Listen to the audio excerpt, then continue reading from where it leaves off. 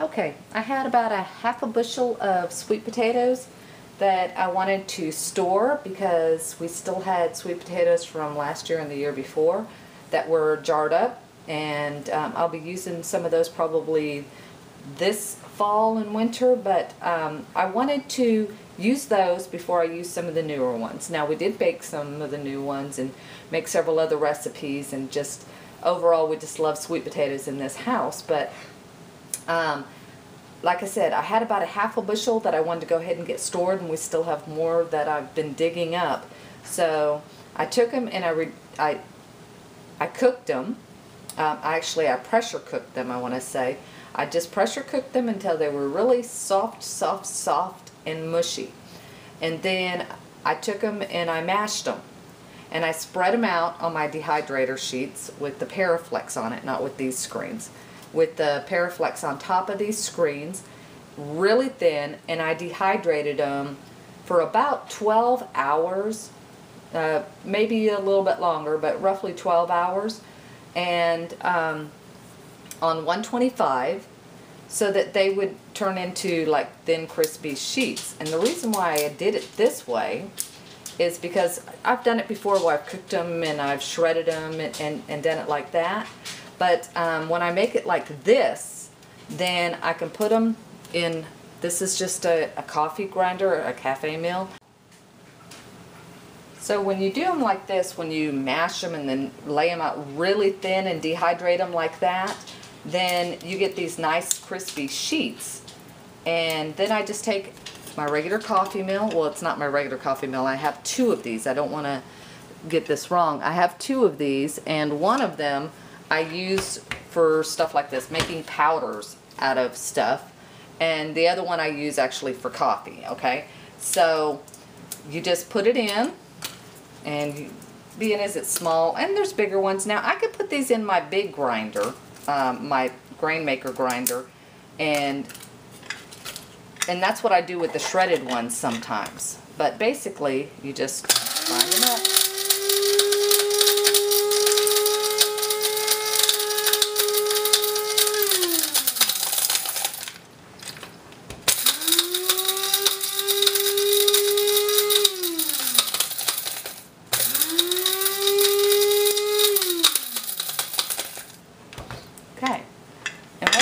Is it turns it into a powder.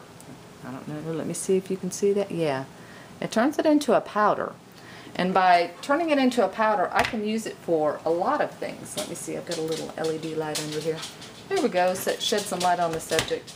And as you'll see, one little piece didn't, but this makes it very usable for a lot of recipes. What I do is it makes it easy to reconstitute very quickly. You can use cold water, hot water, and basically you just add it in and start stirring it until it gets to the texture and the consistency that you like. It is really great to do things like uh, sweet potato pancakes and using it for sweet potato flours. You can do all kinds of different things with it. Um, makes really great sweetbreads. So good idea to keep in mind little things like that but it's quick and easy way to reconstitute now granted storing it as in dehydrating it and then powdering it takes more time initially than some of the other ways you might use. But still, I think overall it's worth it because, like I said, it is so quick and easy. And you know what? It's a great baby food too. Um, we've got another grandbaby on the way and I'm looking forward to it and all of our grandchildren have loved sweet potatoes so this one might also so maybe have a whole bunch of homemade sweet potato baby food too on top of it Great way to do with apples and, and uh, many other things. Okay, and what I did, I just uh, made some very warm tap water and I'm just going to put in just a little bit at a time because there's hardly any in here. And you see that? Yeah, just that quick. It's like, that's what's so great. Like I said, you spend a little more time up front, but it just reconstitutes so quickly. I mean, think about it. Pies, whatever you want. Look at that.